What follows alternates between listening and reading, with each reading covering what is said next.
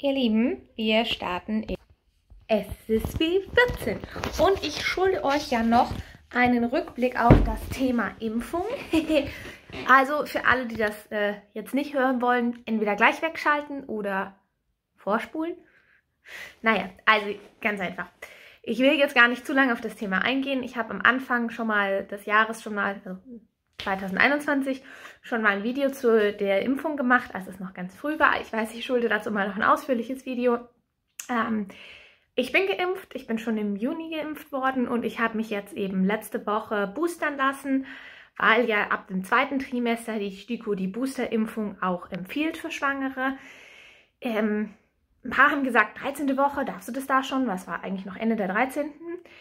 Ach, wo das zweite Trimester beginnt, ist ja immer so eine Definitionsfrage. Also auf jeden Fall wurde ich im Impfzentrum auch geimpft.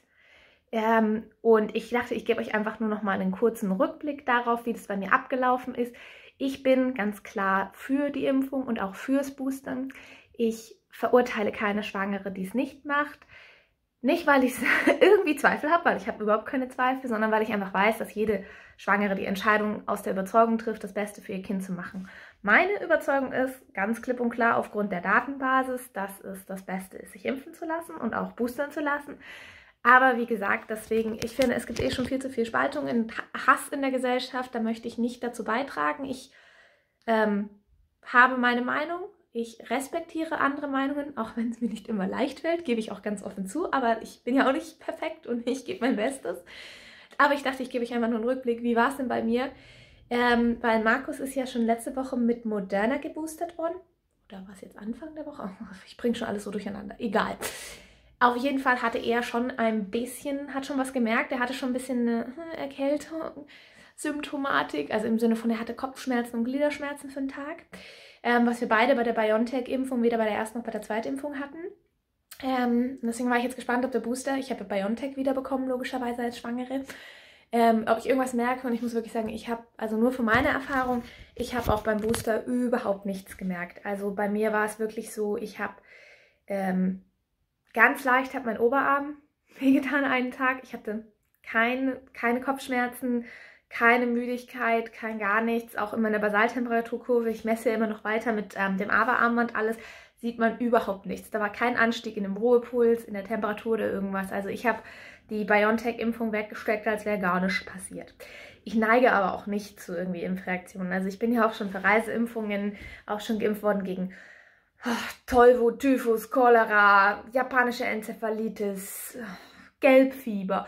Ähm, viele davon haben, sind bekannt, dass man davon Impfreaktionen bekommen kann und ich habe nie mehr gehabt als diesen Impfarm, wo man sagt so, eh, eh. Also insofern, ähm, ich habe sie sehr, sehr gut vertragen würde es jederzeit wieder machen. Ich gehe auch davon aus, dass mit der Omikron-Welle wahrscheinlich in zwei, drei, vier Monaten der Omikron-Booster kommt und damit meine vierte Impfung. Aber ja, warten wir es ab. Äh, ich gebe euch dann ein Update, wenn es soweit ist. Ich wollte nur sagen, ich habe es gut vertragen. Ähm, und ja, Krümel geht's auch gut. Ich horche ja hin und wieder immer noch mit dem Angel Sound drauf. Und äh, jetzt starte ich in die Weihnachtswoche. Ich sag's euch, bei uns ist gerade das totale Weihnachtschaos ausgebrochen.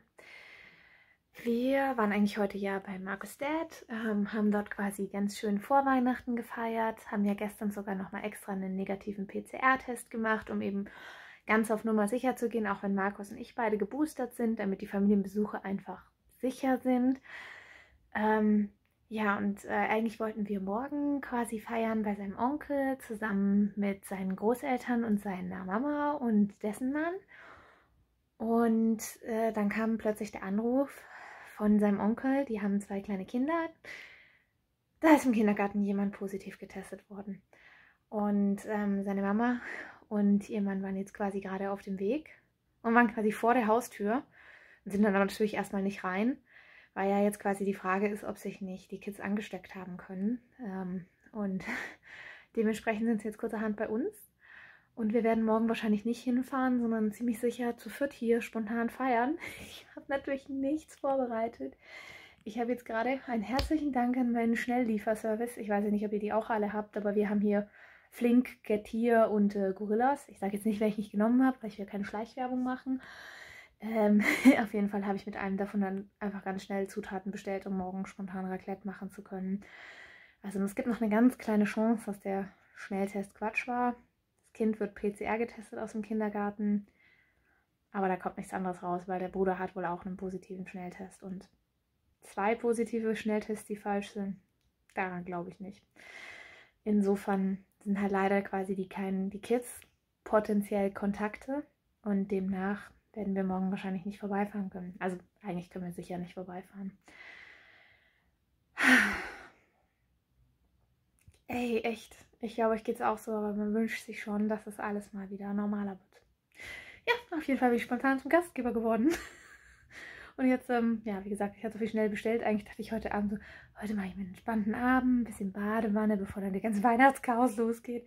Ich habe noch nicht gepackt.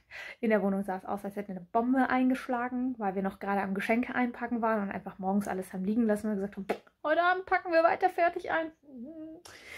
Oh Mann, ich sag ja, kommst du hierher und denkst dir so, nein, ich habe nichts zu essen, ich habe kein Weihnachtsessen vorbereitet, ich habe Chaos in der Küche. Ey, naja, also die perfekte Hausfrau bin ich schon mal nicht. Aber ganz ehrlich, ähm, naja, man muss halt improvisieren, ne? Und wir machen jetzt einfach das Beste draus. Und heutzutage, Vorsicht geht halt einfach vor. Aber Weihnachtschaos. Also, kleines Weihnachtswunder. Die PCR-Tests der Kids sind negativ. Wir konnten unser Weihnachtsfest normal stattfinden lassen. Ich habe umsonst bestellt. Zugegebenermaßen hat Markus noch gesagt, warte ab, aber ich habe nicht dran geglaubt, dass das passieren kann. Ja, also auf jeden Fall haben wir uns jetzt fertig gemacht. Das war echt ein stressiger Vormittag.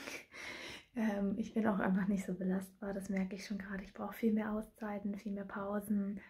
Aber wir haben uns jetzt fertig gemacht. Ich habe Apple Crumble vorbereitet und wir können jetzt tatsächlich losfahren und doch gemeinsam Familienweihnachten feiern, weil jetzt wirklich alles sicher und vorsichtig und vertretbar ist. Und ja, wenn ihr es seht, ist natürlich Weihnachten schon rum. Aber da für mich heute gerade Weihnachten ist, wünsche ich euch auf jeden Fall auch ein ganz, ganz, ganz frohes Fest. Ich hoffe, wenn ihr seht, dass ihr eine wunderschöne Weihnachtszeit hattet, dass es euch gut geht wenn ihr schon ein Baby habt, dann ähm, natürlich ganz frohe Weihnachten mit Baby im Bauch oder im Arm. Und wenn ihr noch hofft, dann ähm, ja, 2022 werden es ganz, ganz viele von euch, dass sie das Wunder erleben dürfen. Und ich hoffe, dass ich euch auf dieser Strecke begleiten kann. Aber da kommen wir noch alles dazu. Also auf jeden Fall, ich nehme euch jetzt immer mit weiter mit in meine Reise und ich gebe euch natürlich auch weiter Tipps und hoffe, dass da was dabei ist, was euch hilft, dass ihr dieses Wunder auch erleben dürft, was ich jetzt gerade erlebe und was mich unglaublich glücklich macht. So, ihr Lieben, die Weihnachtstage sind rum und damit auch meine Schwangerschaftswoche 14. Ich bin jetzt in der 15. Woche, ist also schon wieder Montag früh.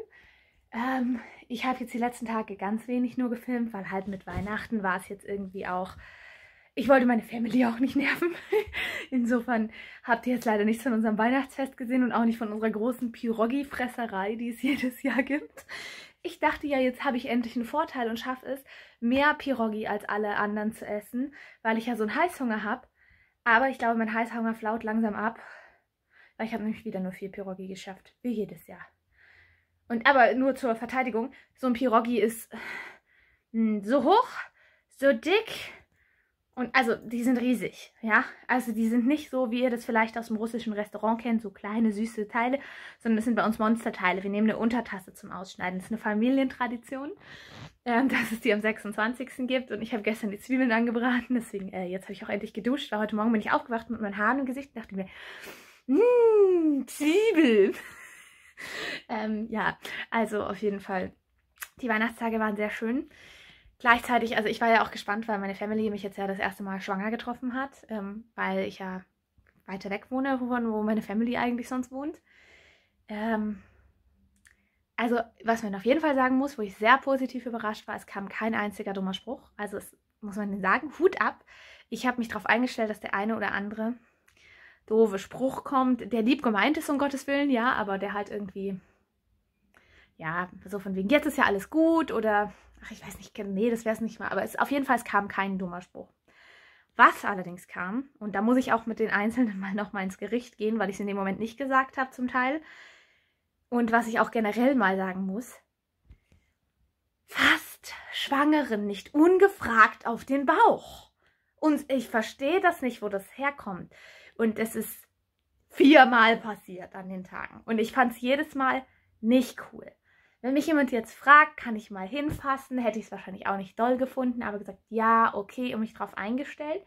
Aber ich mag es auch nicht, wenn mich Leute einfach berühren, die ich und ich nicht damit rechne, ja. Also ist jetzt nicht schlimm, ja, wenn ich dich umarme, ja auch Leute und alles, aber dann weiß ich ja, dass jetzt gleich eine Berührung kommt. Ich mag es einfach auch nicht, weil wenn ich sauer bin zum Beispiel und jemand fasst dir dann auf die Schulter, um dich zu berühren, beruhigen oder auf den Arm, hundertprozentige Sicherheit, dann flippe ich aus, wenn ich vorher schon so grummel, grummel, grummel bin. Und in dem Moment, ich, ich kann das einfach nicht leiden. Und jetzt ist mein Bauch, ist halt so mein schützenswertester Bereich, wo ich auch, wenn ich in der S-Bahn mal stand oder so, habe ich immer gleich meine beiden Hände vor meinen Bauch, damit ja niemand dagegen kommt. Und deswegen, wenn jemand quasi beim Auf mich zukommt, schon so, ja, hier, Bauch, dann denke ich mir so, nein! Ein schwangeren Körper ist trotzdem, es ist mein Körper. Und warum sind schwangeren Körper plötzlich allgemein gut, wo man einfach auf den Bauch fassen darf?